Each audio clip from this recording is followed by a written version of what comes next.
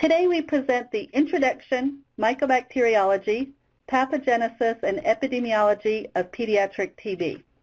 Today's presenter is Dr. Ana Alvarez. Dr. Alvarez is a graduate of the School of Medicine, Universidad de Panama. She did her residency training in pediatrics in, at MetroHealth Medical Center and her fellowship in pediatric infectious disease at Rainbow Babies and Children's Hospital, Case Western Reserve University, both in Cleveland, Ohio. Since 2005, she has been the pediatric consultant for the Southeastern National TB Center and faculty of the Comprehensive Clinical TB course sponsored by the SNTC. In 2013, she was appointed by the Secretary of Health and Human Services to the Advisory Council on the Elimination of Tuberculosis of the CDC. Dr. Alvarez is currently an associate professor at the University of Florida College of Medicine in Jacksonville, Florida, in the, in the Division of Pediatric Infectious Disease and Immunology. It's my pleasure to turn this over to Dr. Alvarez. Anna? Yes, I'm here. Thank you, Donna. Karen. Um, all right, let's let's go ahead and start. Welcome everybody. Uh, in just uh, start with the objectives. So my goal is that by the end of this presentation, we will be able to recognize the epidemiology of tuberculosis in the United States and in the world, identify some of the typical microbiologic characteristics of Mycobacterium tuberculosis, describe the pathogenesis of TB, and recognize the risk factors for tuberculosis infection and disease. I'd like to start with a case to illustrate several, several points. So this is a six-year-old Bosnian male who presented to our local emergency department with a one-week history of fever and occasional vomiting. He had no history of cough, difficulty breathing, or weight loss. Um, his social history was relevant because uh, he and his parents and a younger sibling had immigrated to the United States from Bosnia about six months before he presented to the emergency room. At that time, they uh, uh, had gone through the refugee clinic and all of them had uh, been screened for TB via PPDs. Both the parents were tested tested positive but had negative chest x-rays and they elect, elected not to take medicines um, that were offered. Both children at the time were negative, the, the and the other sibling. Um, in the ED, his temperature was 100.3, uh, but he was uh, not in any respiratory distress. He was awake, alert. His exam was remarkable for um, decreased breath sounds in the right lung field, but the rest of his exam was within normal limits. So based on this, the ED performed uh, a chest x-ray. As you can see um, in this x-ray, two-thirds of the right lung are actually affected. Um, you can see this. Uh, there is pleural thickening, so you can see that you can see that there's a, pleural effusion there, probably a large one. We can't really see the um, how much of the uh, uh, lung parenchyma is involved, but presumably some of it. it is hard to define what is what in here. He also had a lateral decubitus X-ray to see if there was layering of the fluid, and that was um, and there was no layering. So he was admitted to the hospital, and he was started on IV antibiotics. Initially, he was started on ceftriaxone, and then uh, the next day they added vancomycin. After three days of IV antibiotics, he continued to have fevers daily and uh, very high spikes, but without any changes in his respiratory status. At that point, Peds-ID was consulted. So these are the questions that I want you to think about, and we will come back to those at the end of the presentation. So at this point, think about what is your differential diagnosis? Uh, would you do any further evaluation? Um, do you want to repeat the PPD? Uh, what would be the best sample to send for cultures and what other tests you could do to try to decide what this patient has. We, we will go back to those at the end. So let's jump to review the epidemiology of TB. Worldwide, tuberculosis is the greatest killer to a single infectious agent. Among people with, living with HIV, TB is also the number one killer and it is the main cause of death related to antimicrobial resistance. It is estimated that there are 1.7 billion persons infected with TB worldwide. In other words, about one third of the world's population has this infection. In 2016, there were 10.4 million new cases of TB and 1.7 million deaths due, due to TB in the world. Over 95% of TB occurs in low and middle income countries. About 64% of the reported cases in the world occur in seven countries. This includes India, Indonesia, China, the Philippines, Pakistan, Nigeria, and South Africa. In this map, you can see in the dark green the countries that have rates that are more than 300 cases per 100,000 population. And you can see that most of these countries are from Africa, especially sub-Saharan Africa. And there are some countries from Southeast Asia. In the Americas, there are no countries with similar rates. However, based on the number of cases instead of the rates, Brazil is one is on the list of the high burden countries in the world, and Peru is on the list of the countries with the highest numbers of MDR TB cases in the world.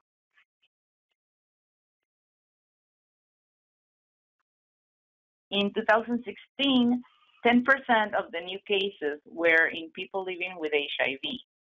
It is estimated that at least one third of the people living with HIV in the world are infected with TB. People with the co-infection are 20 to 30 times more likely to develop active TB disease than people without HIV. So HIV and TB form a very, very bad combination. Each of these organisms affects and stimulates the progress of the other. In 2016, about 374,000 people died of HIV-associated TB. Depending on the regions of the world, 20 to 50% of the deaths among people with HIV are due to TB.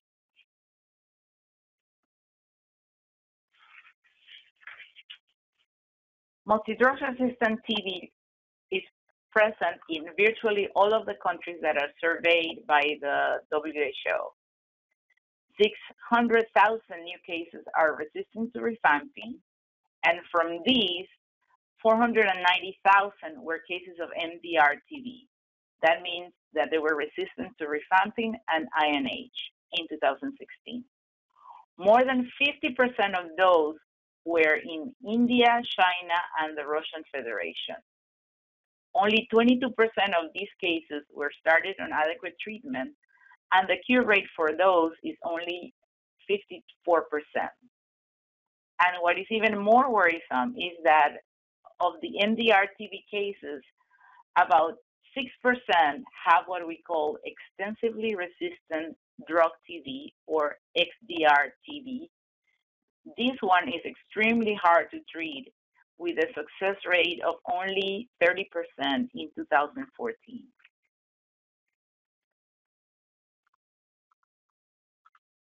The estimated number of cases of TB each year is declining, but it is very, very slow. Only about 2% decline per year. Between 2000 and 2016, an estimated 53 million lives were saved through the DOTS, which stands for Direct Observed Therapy Short Course, and the Stop TB strategy recommended by the World Health Organization. During this period, the TB death rate dropped by 37%. However, fatality rates vary widely from less than 5% in the US to more than 20% in the African region, highlighting the tremendous inequalities that still persist.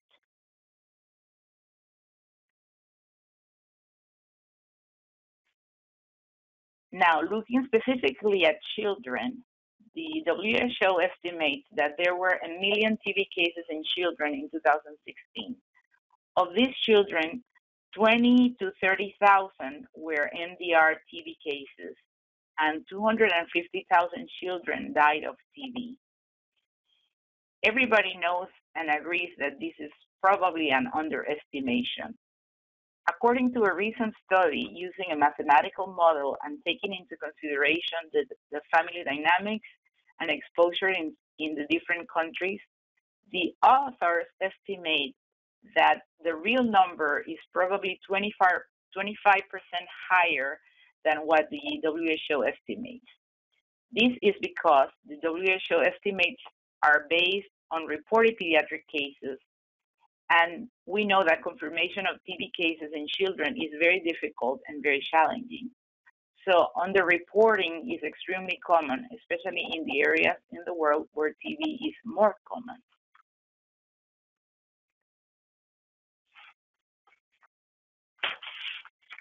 Now let's turn to the epidemiology of TB in the United States. This is not shown in the map, but since the anti-TB drugs were available in the 1940s, the number of TB cases decreased dramatically every year to the point that in the late 80s, late 80s, early, no, late 70s, early 80s, it was estimated that maybe by the year 2000, we would eliminate TB from the United States. However, in 1985, something unexpected occurred.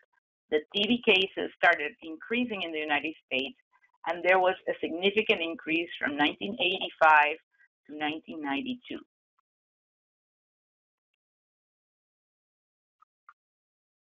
The factors that contributed to the increase of TB morbidity during this time was the occurrence of the HIV epidemic in the United States.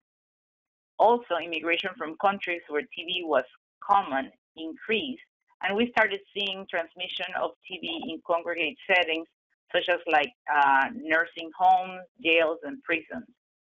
The other thing was the development of multi-drug resistant TB, which started popping up more frequently then. At the same time these things were happening, there were significant cuts of the funding for the local TB program. So that was a formula for disaster. However, if we look back to the previous graph, you can see that since 1993, the number of cases of TB in the United States started decreasing again. And every year, they have decreased some. At the beginning, that decrease was pretty remarkable, as shown in the uh, by the down arrow.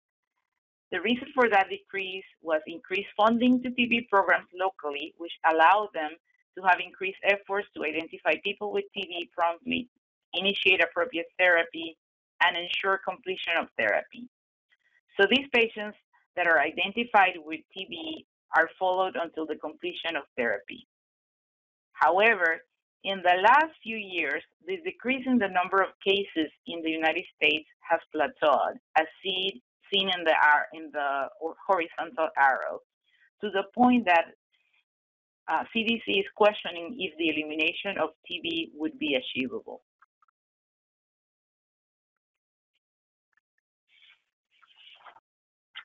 The main barriers for the elimination of TB in the United States include the fact that TB occurs largely in populations that are difficult to reach medically, so-called high-risk populations. And these populations, in these populations, TB is difficult to detect, to diagnose, and to treat. The other thing is that global TB epidemic is still persistent, and the immigration of people from all over the world to the United States is continuous. Finally, our current TB control measures are limited. We need newer tests, newer vaccines, and newer drugs to, in order to achieve TB elimination in the United States.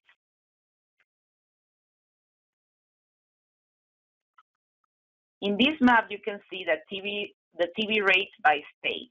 The states in blue represents the states that, that have rates above the national average which was 2.9 per 100,000 population in 2016. You can see that there are several states that have higher rates than that. In particular, there are four states that carry the numbers of TB cases in the United States, and those include California, Texas, Florida, and New York.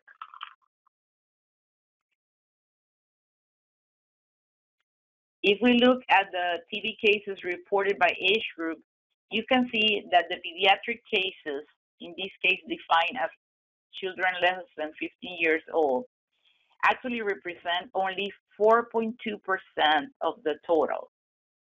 Almost 50% if you include um, the youth up to age 24. Most of the population with active TB cases are in the 24 to 64 age range, which means that this disease really affects people that are in their productive age.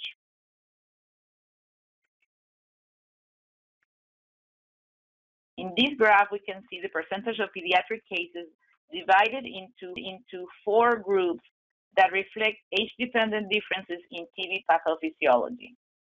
This graph only represents the patients that are younger than 15 years of age.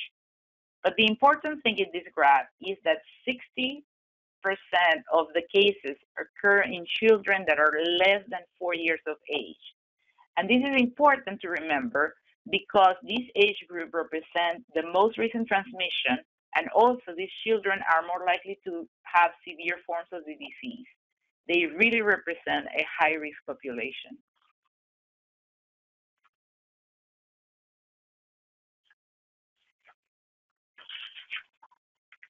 When we look at the rates of TB and divide them by if the patients were U.S. born versus non-U.S. born, you can see that the rates the rates in the non-U.S. born is represented in blue and the rates of the U.S. born are represented in green. It is clear that the rates in the non-U.S. born are much higher than the rates in the U.S. born. If we look at this in a different way, this graph really represents the number of cases of non-U.S. born persons in the United States and the trends. As you can see, the actual number of the cases, illustrated by the blue bars, has remained relatively the same in the past few years. The decrease in the number of total cases in the United States has occurred mostly because of implementation of the strategies that have affected more of the U.S. population than the foreign-born population. And because of that, each year, the number of cases in non-U.S. born represents a higher percentage of the total number of cases in the U.S. This is represented by the orange line. In 2016, this percentage was 69%. In other words, almost 70% of the total cases of TB in the United States in 2016 occurred in foreign-born persons.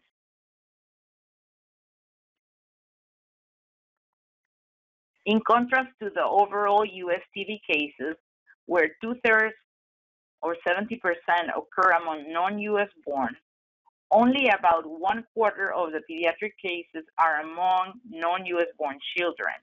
And that fraction has been fairly stable between 21 to 30% since 1993. This is because many of these young children with TB were actually born in the United States but their families are immigrants. And we will look at this in more detail in, in a little bit.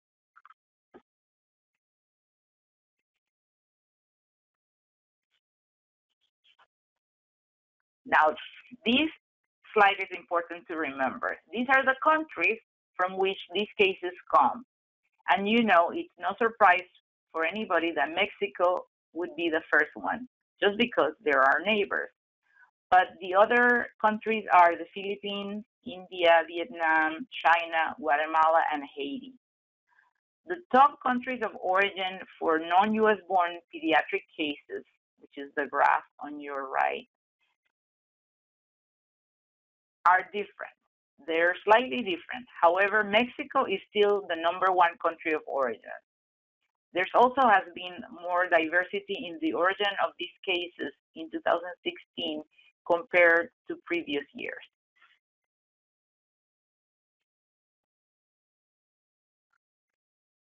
By the standard categories of race and ethnicity, the greatest number of cases since 1998 has been among Hispanic children, represented in purple, followed by Black non-Hispanic children in yellow. However, these two groups have also had the greatest decline in the number of cases since 1993.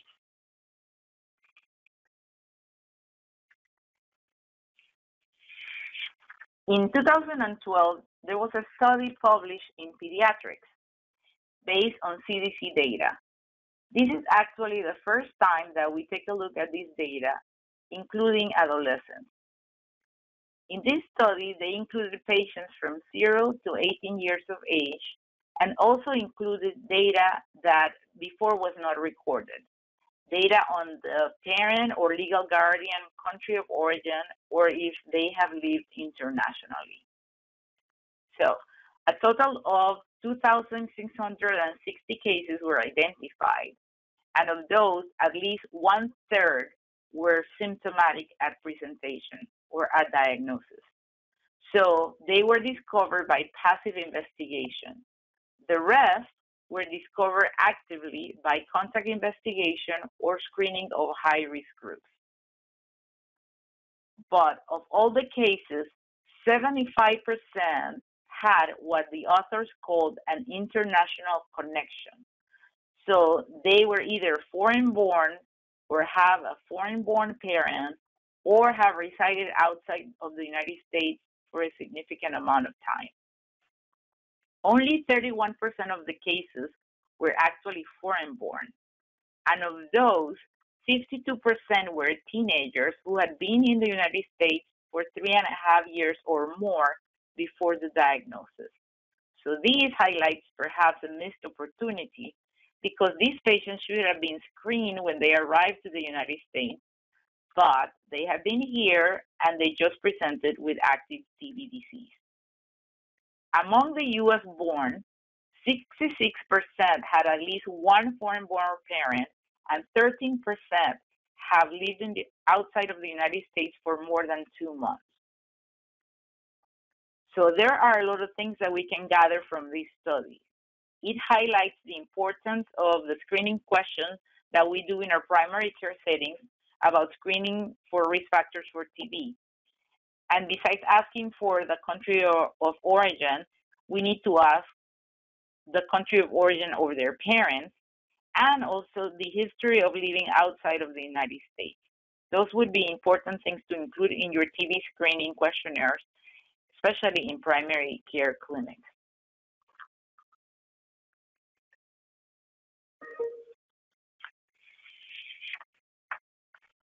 Now, moving along to another area that is important to know is the rate of anti-TB drug resistance.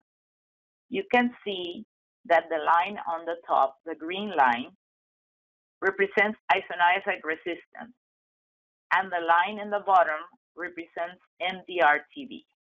Fortunately, the rate of MDR and INH resistance have remained relatively stable, with a little bit of an increase on INH resistance. But the numbers are low. INH is less than 10%, and MDR is, is less than 2%. It was actually 1.2% in 2016. Now, looking at the pediatric TB with drug resistance, Remember that drug resistance results are possible only for TB cases that are confirmed by culture results. The counts and percentages that are shown here are based only on the confirmed cases, culture positive cases. The percentage of pediatric cases with resistance to at least one drug increased during through um, increased through 2005. Since then, the percentage has varied between 11 to 21 percent. However, the percentage of cases with multi-drug resistant TB, that is resistant to at least isoniazid and rifampin, has varied from 0 to 2 percent since 1999. There were no cases of MDR-TB in 2015 among pediatric cases.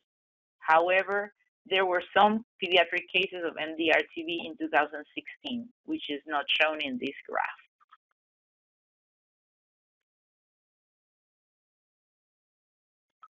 When we look at MDR-TB dividing the population in U.S. born versus non-U.S. born, we can see that the rates are low. However, the rates in non-U.S. born are double the rates uh, in the U.S. born.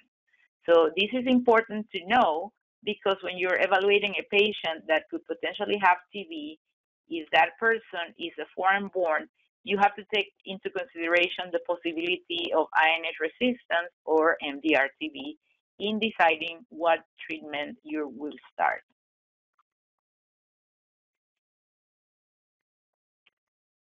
XDR-TB, which is defined as TB that is resistant to INH, rifampin, fluoroquinolones, and at least one of the injectable drugs, does not have a clear epidemiology or a clear trend in the United States. Fortunately, the cases have remained low.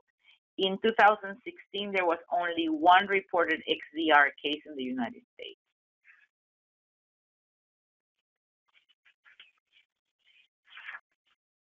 In this graph, we see the rates of co-infection of TB and HIV. And you can see that it has decreased significantly and it remains low, about 10% for all ages and a little bit higher for the patients that are between 25 and 44 years of age. What is not shown here is the rate of testing uh, for HIV in the pediatric TB cases. However, CDC reports that the, the surveillance result is low. Basically, less than 28% of children with TB are tested for HIV. Of the sub, of the cases that are tested for HIV, HIV 3.1% had positive results. This is just to remind us that all TB patients, regardless of age, should be offered HIV testing. That is according to the national guidelines. Okay, time to change gears, and now we're going to talk about microbiology. Uh, Mycobacterium tuberculosis complex is the etiology of TB, um, and it includes uh, Mycobacterium tuberculosis, which is the most common species that causes TB, but also includes Mycobacterium bovis and Mycobacterium africanum. They belong to the order of the Actinomycetales and the family of Mycobacteriaceae. If you gram stain uh, specimens with this, uh, they may show uh, a reaction weakly gram positive or not at all. However, you could see in the in the gram stain uh, the presence of of some organisms. So they are so-called ghosts because sometimes you can't really define if they're gram if they're gram positive or not. So these organisms are acid-fast bacteria, which means that they are resistant to decolorization by the acids used during staining procedures. The three classic staining, AFB staining procedures are the Ziehl-Neelsen stain and the Kinyoun uh, method. And in these, the, the bacilli uh, stains at a bright, bright red under a background of blue or green. But there's also the auramine rhodamine stain, which is specific. This is very sensitive for AFB, and this uses uh, um, fluoroscopy. Um, and you can see that in, in the picture to the far right. So these organisms are fairly large. They're non-motile rod-shaped bacteria. They are obligate aerobes, and this probably uh, explains a little bit why they like in particularly the well-aerated areas of the lungs, the upper lobes of the lungs. They're also facultative intracellular organisms, so they actually live in the macrophages and can persist in the macrophages for long periods of time. Um, the cell wall of these organisms is very interesting. It does have peptidoglycan, but 60% of the cell wall is actually lipids, and it is uh, um, known that a lot of the uh, virulence factors for mycobacterium resides in the cell wall. In vitro, it only grows in special media. So we have solid media and liquid media. The classic solid media is the Lowenstein-Jensen medium, which is egg-based, but also the Middlebrook medium, which is agar-based. They also grow well in the auto, in uh, liquid media, and this is this is uh, the media that we use in automated radiometric uh, systems like BACTEC. The difference in uh, growth is significant because in solid media it takes six to ten weeks to grow, but in liquid media, they grow a lot faster, and you can see growth even as short as one week to six weeks. And this uh, picture shows the, the colonies growing in, in the agar media, the small buffered colonies. If you actually uh, stain uh, these uh, colonies and put them on a, on a film, you can see uh, what we call serpentine cords. And this is probably one of the, um, produced by one of the virulence factors in the, in the cell wall, the what we call the cord factor. And uh, this cord factor is important because it, it actually uh, is um, lytic for the human cells and it also um, inhibits the uh, migration of polymorphonuclear. So it's an important factor in the virulence of the organism. Now let's talk about pathogenesis of, uh, of this disease. So the first thing that we need to know is uh, that there are like, like I said in the epidemiology, they are persons that have higher risk for exposure or infection to TB. And it's important for us to know which are the populations that have higher risk. So these include close contacts of persons known or suspected to have active TB, uh, foreign-born persons from areas where TB is common, or persons that visit those countries, um, the residents and employees of high-risk congregate settings, and these include nursing homes, and jails, and prisons. Also, uh, the medically underserved, homeless, and users of illicit drugs have a high risk of exposure or infection to, with TB. Healthcare workers that serve those high-risk groups are also at an increased risk for um, infection. Children and adolescents who are frequently exposed to adults that have the increased risk factors for infection also have increased risk of uh, exposure and infection. So the transmission of TB um, is airborne. Um, it gets spread through what we call droplet nuclei when a person that has contagious TB coughs or even sometimes sneezes or shouts or sings if they have the TB in the larynx, they expel the, uh, these uh, droplet nuclei to the air. The transmission occurs when droplet nuclei are inhaled and they pass uh, through the nasal passages and respiratory uh, um, tract and reach the alveoli in the lungs. So not everybody that is exposed uh, to TB gets infected with it. Uh, the factors that um, affect when TB is transmitted are the susceptibility of the exposed person, so if the, if the person is, um, has an intact immune system or not, the infectiousness of the person that has TB, uh, meaning the number of bacilli that they expel into the air, and that is um, related to the to the um, the type of TB they, that they have. People with cavitary TB are usually more contagious than people that have nodulary TB, for example. The other factor is environmental factors that affect the, the, the concentration of TB organisms. So uh, closed environments where there is not enough ventilation, uh, versus outside uh, places where the UV light actually kills some of the, these organisms. Um, the proximity, the frequency, and the duration of the exposure is a very, very important uh, um, issue. So the, the highest risk is for the close contact of an active case, meaning the people that live in the same household or that spend a significant amount of time with the person that has contagious TB. So a casual contact it doesn't have the same risk or not nearly close to the same risk as the person that spends hours with the person who has active TB. TB can be transmitted from young children, although this is, this is uh, very likely uh, due to the fact that children usually do not have a, uh, a large bacterial load and they don't have the force to uh, expel um, the organisms in, in droplet, droplet nuclei. But it has been reported to happen. So the droplet nuclei measure about 5 microns and they contain about 1 to 10 bacilli. The size of them allows them to remain suspended in the air for long periods of time.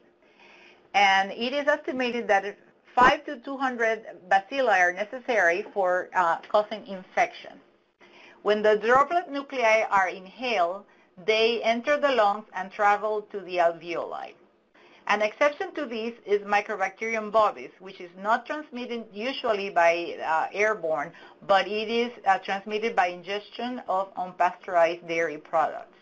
Once the uh, tuber tubercular bacilli reach the alveoli, uh, some of them are killed there, but some of them, a few of them, continue to multiply. As they multiply, a small number of the bacilli enter the bloodstream, and then they spread throughout the body. Uh, through the blood, the, these bacilli can reach any part of the body. But there are certain areas that are more likely to uh, be uh, good environments for developing of TB disease. And that includes the upper portions of the lungs, but also the brain, the larynx, lymph nodes, bone, and kidney. So within two to 10 weeks of the, the original infection, when the, when the alveoli, when the bacilli reach the alveoli, the macrophages in the, in the airway, the lower airways, ingest these tubercular bacilli. And they form um, a, a, barrier shell around it, what we call a granuloma. And this keeps the, the bacilli contained and under control. So the, uh, the end the MTB bacilli are in the macrophages can um, stay alive and be and become latent. So they're they're not actively multiplying, but they're not dead. And this is what we call latent TB infection. If the immune system cannot keep the tubercular bacilli under control, this begins to, to multiply rapidly and uh, it, the immune system is unable to control it, and this causes TB disease. This process of rapid multiplication can occur, in, as I said, in different areas of the body, wherever the bacilli has gone uh, through the bloodstream. So let's talk a little bit more about latent TB infection because that is an important concept to, to know and understand. These uh, granulomas uh, may persist for many, many years, and this is what we call latent tuberculosis infection. But some of them may break down and produce TB disease. Um, in, it takes about two to 10 weeks after the original infection for LTBI, for tuberculosis infection, to be detected via the two tests that we have, the tuberculin skin test and the interferon gamma release assays. Um, at that point, the immune system is usually, if it's an intact immune system, is usually able to stop the multiplication of bacilli and there are no symptoms. At this time, the X-ray is normal, and the person is uh, thought to have latent TB infection. People with LTBI are not infections, uh, infectious, and they do not spread the organism to others. In the cases where the granulomas break down and the bacilli escape the immune system, they multiply in the different areas and can cause TB disease. This can occur soon after the infection or it can occur years later. Persons with TB disease are usually infectious and can spread the bacteria to others. So the sites where, where TB disease occur uh, can be the lungs, which is by far the most common site. Usually about 75 to 80% of the cases occur in the lung, pulmonary TB, and are the most contagious of all the sites. Miliary can occur, miliary TB can occur when the bacilli spread to all parts of the body um, and there are two or more organ systems involved, and it could be uh, pretty severe and fatal if it's left untreated. Other sites of disease include lymph nodes, uh, where it can cause a chronic or subacute lymphadenitis, can cause meningitis, otitis media, chronic otitis media or mastoiditis, osteomyelitis, gastrointestinal TB, renal TB, and pretty much TB, once it's spread, it can go anywhere in the body. Extrapulmonary TB is usually not infectious unless the person has concomitant pulmonary disease. So a, person can have pulmonary TB and extrapulmonary TB at the same time, and these persons are contagious. Um, if the extrapulmonary disease is in the oral cavity or the larynx, they also can be contagious because only coughing or sneezing or even singing can uh, uh, spread the, the droplet nuclei into the air. Um, or if the extrapulmonary site has an open site and um, there are procedures that can aerosolize the fluid that then become uh, infectious. Now, not everybody that has um, acquired the infection, so latent TB infection, develops TB disease. In a person that has a normal immune system and, and they have uh, TB infection, if it is left untreated, about 5% of these people with normal immunity will develop TB in the first two years after the infection, and then they have a risk of 5% later in life. So 5% in the first couple of years and, and another 5% later in life. So a total of the risk in a, in a person with a normal immune system in the general population is about 10% in their whole life to develop TB. That means that one out of 10 people that get uh, TB infection will go on to develop disease. Now, if the, if the person that acquires the TB infection has a weakened immune system, uh, the risk is much, much higher.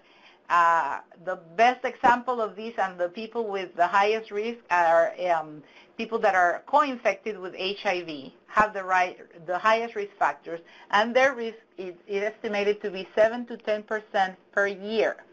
7 to 10% per year versus the people that have uh, a normal immune system, which is 10% in their whole life.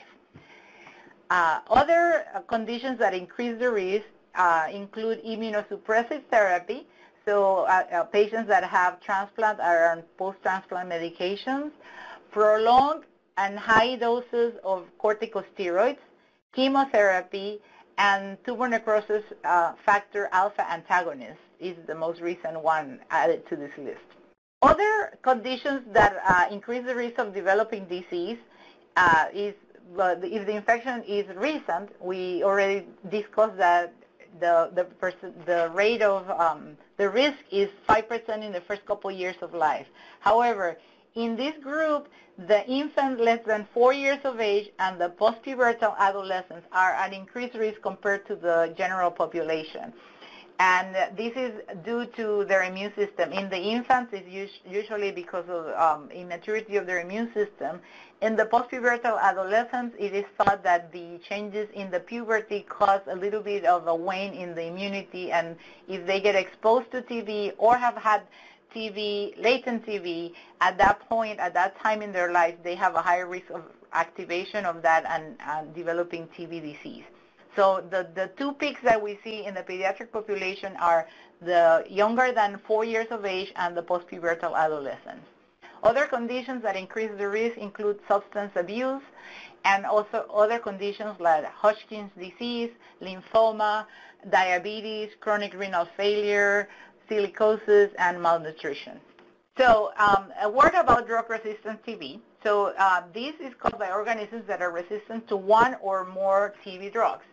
They, it's important to understand that they are transmitted the same way as drug susceptible and they're not necessarily more infectious uh, than uh, drug susceptible TB. However, the importance of this is that a delay in detecting the drug resistance may prolong periods of infectiousness because of the delay in starting the correct treatment. So multi-drug resistant TB is defined as the bacteria that are resistant to two drugs, INH and rifampin. Extensively drug-resistant TB is, are, is caused by organisms that are resistant to INH and rifampin, plus fluoroquinolones, plus one of the three injectable second-line drugs. As you can see in, in this graph, uh, the rates, the, the numbers uh, decrease as we try to, uh, as you go to more resistant strains. And it's important to remember that there are uh, two types of drug resistance primary resistance and secondary resistance. So we call primary resistance when a person gets infected with resistant organisms from, from the get-go versus secondary or acquired resistance is when the person develops TB during therapy, and this is when they are not in the correct therapy or not in the enough uh, drugs, or they are not adherent to their uh, regimen. So circumstances that increase the risk for drug resistance TB include uh, people that have been exposed to persons that are known to have drug resistant TB or they have a history of prior unsuccessful treatment for TB and, and the drug susceptibilities are not known. Uh, if they are coming from a country where drug resistance is more prevalent, and also we suspect when uh, drug-resistant TB, when they have positive smears and cultures uh, two months after starting treatment, then that is an indication that we need to suspect drug resistance TB. Okay, so now to finish, I just want to wrap up with the, going back to our original case. So to remind you, this is a six-year-old Bosnian male who went to the emergency room with one week history of fever and uh, some vomiting. He's from Bosnia. The family had immigrated to the U.S. six months prior to his presentation. At the time of arrival to the U.S., he had a negative PPD. And he has this chest x-ray that we describe as a large pleural effusion with potentially some infiltrates there too. So he was admitted to the hospital, was treated with IV ceftriaxone first, vancomycin was added, he was not responding, continued to have fevers, and, uh, and the questions that we were asked was about differential diagnosis, further evaluation, do we need to repeat the TST, what would be the best sample, and what other tests should we need to do. Now, most of these questions are going to be discussed in detail in the next webinars, and so I would encourage you to attend the, the series in order to uh, have an um, understanding of these. But I'll give you what happened with this patient. Um, the, there was a chest ultrasound that was ordered, and it showed a loculated organized pleural effusion. Surgery was consulted, and they performed a video-assisted thoracotomy and decortication, VATS. And because we had suspicion of TB, of course, that was in our differential diagnosis, we recommended that not only they would send the pleural fluid, but to send also a pleural biopsy and to send AFB cultures and PCRs on the pleural fluid and on the tissue, as well as the bacterial, the regular bacterial cultures.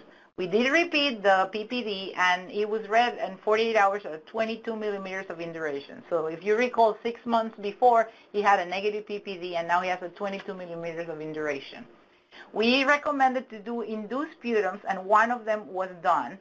However, then they changed the, the, the strategy to do gastric aspirates, and there were three of those done. We also requested an HIV antibody, and that was negative. The patient, based on these findings, was just the, the PPD on, on its own and the fact that it wasn't responding to IV antibiotics, was started on four drugs, INH rifampin, pyrazinamide, and ethambutol, and he improved with resolution of the fever, and he was discharged home to continue uh, uh, therapy uh, with direct observed therapy. The final results, his three gastric aspirates were negative smears and negative cultures. The induced sputum has a, had a negative smear. The pleural biopsy showed multiple caseating granulomas. The pleural fluid and the pleural tissue were sent for AFB smear and PCR, and they were negative. However, uh, in about four weeks, the induced sputums and the pleural tissue cultures grew Mycobacterium tuberculosis, and it was resistant to INH. So just to wrap it up, things that we learned from this case. First of all, just a reminder about the epidemiology and risk factors. So TB should be considered in a child with pneumonia that is not responding to appropriate antibiotics, especially if the patient is foreign-born. So there should be a red light in, in there just because they're foreign-born. Remember that in, in regards to pathogenesis, that it may take up to 10 weeks from exposure to show a positive PPD. So this patient had immigrated and had a PPD soon after immigration, and he obviously was in the incubation period, and um, he did, had not had time to convert to PPD. Uh, his parents actually did not have TB, so it was, and we could not find a source case for him. So he probably acquired the TB right before he left his country. So that's important to know the limitations of your testing. It could take up to 10 weeks to convert. Other things that we learned from this case is that it is very important to obtain cultures in children, especially when the source case is unknown, uh, and that induced sputums may be actually better samples than gastric aspirates in older children. So uh, we should be considering that in older children. And for treatment, remember that we need to suspect drug resistance in any foreign-born patient with TB and use the fourth drug, ethambutol, until the susceptibilities are available. So now we can uh, have time for questions. Um, Dr. Maraca, I think is uh, I thank you for the for offering and volunteering to monitor and uh, recall collect the questions. So if you have any questions, this is the time. Sure. Thank you, Dr. Alvarez. Can you hear me? Yes. All right. So uh, uh, we have a few questions from the participants. Uh, the first refers to the 2008-2010 study of pediatric and adolescent TB where the 2,660 cases were described and the parent uh, uh, status was determined. The question is, uh, were the, those 2,660 cases active TB cases or latent TB cases or both, as far as you know? Those were active TB cases. Okay. So and that was based on that was based on that that study was um, CDC CDC data uh, so the, the authors actually work for the CDC, um, and and this was based on the on cases because uh, the CDC doesn't collect uh, data on latent TB. Okay, thank you. And then the second question uh, is regarding the graphs where it's not uh, uh, listed what age group we're talking about. Were those graphs uh, talking about TB cases only in pediatrics, or was it referring to the TB in the U.S. as a whole? Um, which I I don't know if I can go back to the. Can. I go back to the presentation? So the ones, for example, talking about uh, MDR TB and the foreign-born versus U.S.-born cases. Okay, so and the the drug-resistant TB or just the U.S.-born versus foreign-born? It's it's actually not not in the question itself, but I presume both probably. Okay. So what is the question again? Now that I'm looking at the graph. So as as you're looking at these, are these cases only in uh, pediatric TB or uh, refer to TB in, uh, as a whole in adult and pediatrics? No, this is the whole. This is uh, everybody. Um, yeah, adults and pediatrics. Okay, thank you. Another question is regarding the high-dose corticosteroid uh, putting patients uh, at risk. Uh, does that include topical route or only systemic corticosteroids? Uh, only systemic corticosteroids, and it is really defined as uh, high dose and um, also duration more than two weeks of, uh, of duration. So short, for example, um, short courses that are used routinely for um, something like reactive airway disease or asthma are not considered um, uh, risk, fact risk, factors for um, developing disease. But it's the, the high dose, longer courses are the ones that are considered a risk factor. All right, thank you. Uh, somebody is also asking, uh, do you use ethambutol in all your pediatric patients?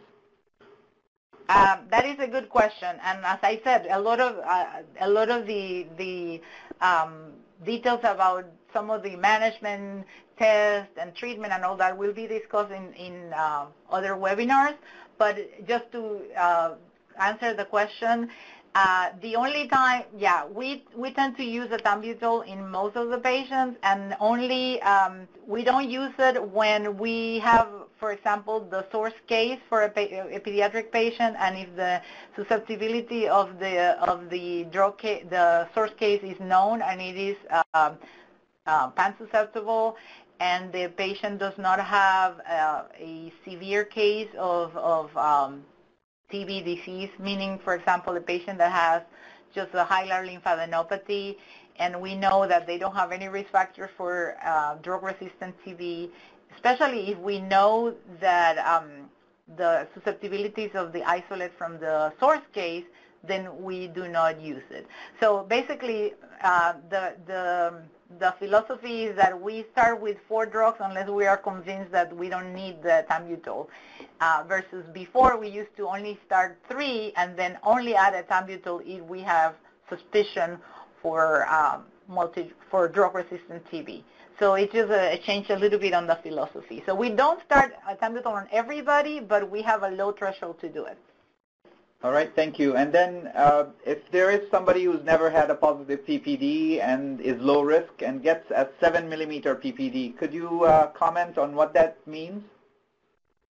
Yeah, there there is a, I think your lecture next next month is going to cover that, but yes, if somebody has uh, no risk factors, a 7 millimeter in duration is considered negative. All right, and uh, could you comment on any general thoughts on, on the uh, conversion length between the infection and developing disease? Uh, is there, are there any thoughts on how long it takes and, uh, in, and is it different in children and adults? Um, yes, actually there is, uh, I, I didn't put that in there, but maybe we can include it in the next one. There is actually a very nice timetable uh, that was developed by um, uh, this guy. I'm, I'm missing the name right now, but um, the, this doctor that took care of, of patients in a, in an um, institutionalized patients. And he studied the nat this was many years ago before even treatment for TB. Studied the natural course of TB in the in these kids. This was in pediatrics. And basically they he developed a timetable. So for example, for, like like we said from infection the the exposure and the infection to conversion it's up to 10 weeks about up, up to 10 weeks. Um, the patients that develop pulmonary disease, um, especially the, the, the, the, young kids that develop miliary TB and TB meningitis. So the more severe um, presentations uh, tend to occur actually earlier, about three to six months after the infection so uh, from point zero from the infection. Uh, the, the ones that have milder disease, usually the range is around, and I'm just going by memory here, but around the, the range is about maybe six months. Uh, persons that develop, for example, uh, osteomyelitis for, with TB, the, the, the, the incubation period or the time from infection to actual presentation is much longer, more like 9 to 12 months after the infection. And for example, renal TB presents years later. It could be a year or even five years after the original infection. So we do have an idea of, uh, of the timeline depending on where the presentation is. And, and the, um, as I said, the more severe cases tend to present uh, sooner because they also present also in the younger kids, in the less than four years of age. All right. Uh, I think we, we have some more questions uh, that will be covered by later topics in the series. Uh,